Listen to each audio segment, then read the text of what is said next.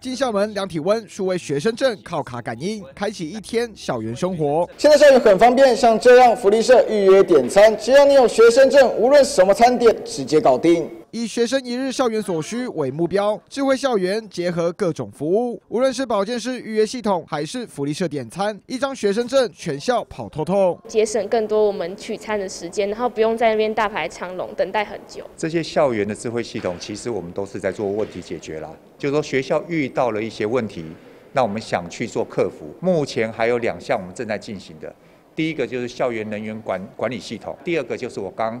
有稍微介绍一下，正在建制中的就是晚自习的这个教室的预约系统。科技进入校园，整合各项行政系统。北师傅十三号举行智慧校园四点零成果展，展示各种校园智慧科技。研发还是需要试验，做成功以后，那 model 确实可行，我们就传到其他的高中去。